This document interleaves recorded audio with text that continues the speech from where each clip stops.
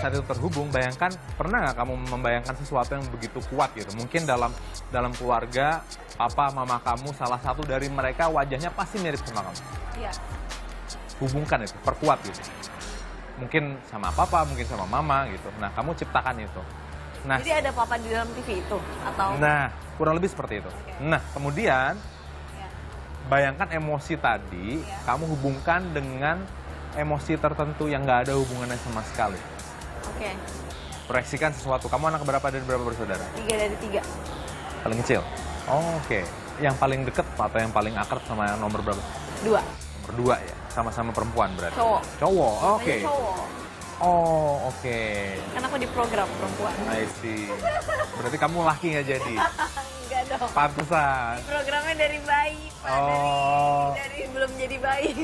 Oh, karena Caca bisa nama cewek nama cowok. Oh. Fokusin itu, asosiasikan Oke. itu ya. Nah, sekarang fokusin ke katanya. Oke. ya. Menurut saya dari banyak kata, karena ini targetnya, eh, anehnya bagi sebagian orang ini hanyalah kata biasa. Bagi Caca, anehnya saat kata ini akan menciptakan reaksi berantai. Oke.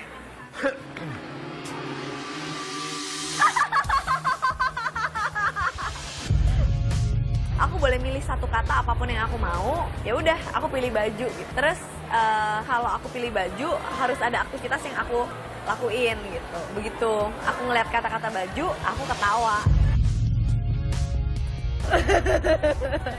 Bagi anda nggak nggak ada yang nggak ada yang lucu kan? Oke, lupakan semuanya dulu. Iya. Oke. ya.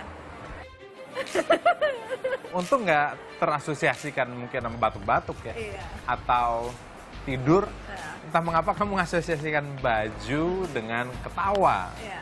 Karena memang di awal itu yang saya lakukan gitu. Tadi waktu cakap-cakap ngobrol sama kamu, tahu nggak kenapa kamu mikirin baju? Sebetulnya kamu tadi kan di awal, kamu kan katanya mau melakukan asosiasi kata dengan aku. Heeh. Di saat kamu bilang makan, saya bilang, oh celananya nggak cukup nah ya celana, baju nah that's why kamu mikirin baju. Jadi secara nggak langsung saya ngarahin Caca untuk memikirkan baju. Karena di awal, waktu kamu main asosiasi kata, kamu bilang makan, celana. Apa hubungannya? Memang nggak ada hubungannya. Tapi dengan membuat kamu mikirin celana, secara nggak langsung saya sudah mengasosiasikan celana dengan baju. That's why kamu mikirin baju.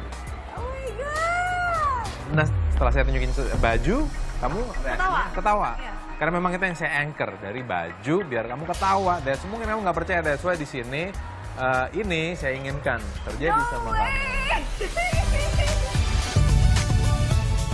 Tadi pas ngeliat baju emang pengen ketawa, iya. Emang kayak, ah, ya udah ketawa aja. Oke. Nggak ada rekayasa ya, saya nggak kamu pura-pura.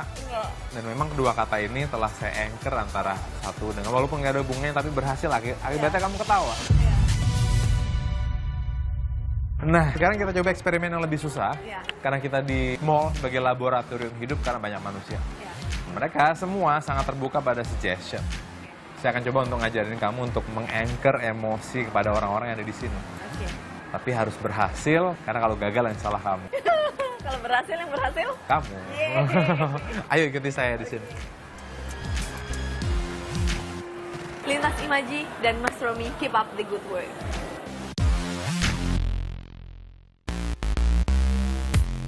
Bagaimana saya dapat membuat Caca tertawa di saat Caca melihat kata baju? Anchor adalah sebuah jangkar emosi yang akan aktif bila kita mengaktifkan sebuah trigger yang sudah ditanamkan sebelumnya. Contoh sederhana, sejak kecil kita sudah diberi sebuah nama. Pada saat nama kita disebut, maka kita akan menoleh, menjawab, atau mungkin datang ke orang yang memanggil kita. Jadi pengertian anchor adalah jika kita melakukan A, maka orang lain akan melakukan B. Jadi dengan mengangker kata baju dengan emosi tertawa, saya dapat membuat Caca tertawa.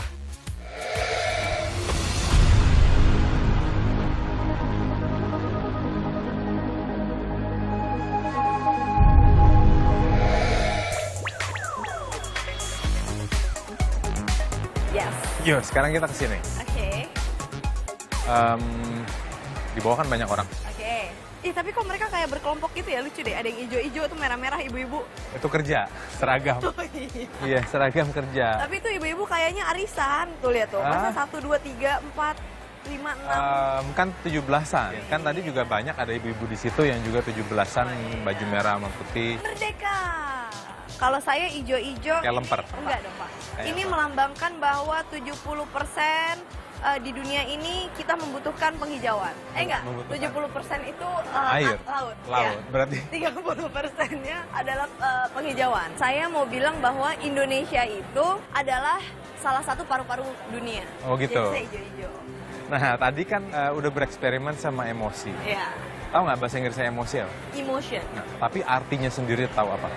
Saya taunya emoji, Pak. Emoji kan. Yang ada gambar-gambar itu. Emotion itu sebetulnya artinya adalah energy in motion. Oh. Karena pikiran kita, sama seperti tadi kan kita ngomongin daun, makanya saya langsung nyambet ke emosi. Em, paru-paru dunia kan, Ya. penghijauan kan. Ya. Nah, emosi adalah sebetulnya mengontrol keseluruhan diri kita adalah emosi kita. Karena emotion tadi itu artinya energy in motion. Itu bisa menciptakan energi positif atau energi negatif. In motion, will create motion. Nah, emosi itulah yang akan mungkin kita jadi sakit, jadi sehat, jadi bahagia, jadi sedih, jadi apa pun. Menciptakan motion. Jadi kalau kita bahagia, mungkin kita akan nyanyi-nyanyi kayak kamu. Can you tell me how the perfect love goes wrong? Kalau itu emosinya apa, Pak? Lagunya sedih tapi saya nyanyinya senyum loh. Yang denger jadi makin sedih. Oh gitu. Males soalnya. Ya, maaf deh, saya kan bukan penyanyi. Oke, nah sekarang kita bermain dengan emosi. Pernah dengar istilah ini ya, um, as if time stood still gitu. Ketika saat waktu itu berhenti. Iya, artinya ya, misalnya kita pacaran, terus pegangan tangan, kayak dunia milik berdua. Saya nggak pernah ngerasain yang itu, Ah, Pak. sih. Atau momen-momen yang bisa bisa positif, bisa tragic.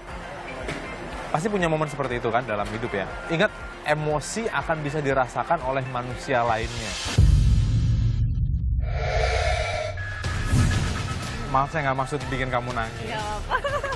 Mungkin dihapus air matanya.